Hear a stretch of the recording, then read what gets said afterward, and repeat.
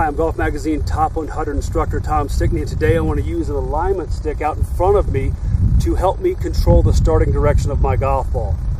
If I put the stick out to the right of my golf ball, as you can see right here, it's going to force me to come more from the inside to start the ball more to the right. If I put the ball, the stick left of my golf ball, it's going to force me to kind of come more this way to start the ball more left.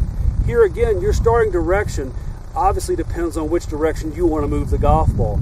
So what I would highly recommend is you place this stick in a position that helps you to audit the starting direction of your golf ball. Therefore, you're going to get the curvature you want on the golf course, and it's going to be in a very controlled fashion. If you don't have anything to audit up here, it's very hard to notice your starting direction. And the starting direction is going to be key and a crucial element to making the ball curve the proper direction and the proper amount so you can find it next to the pin every time.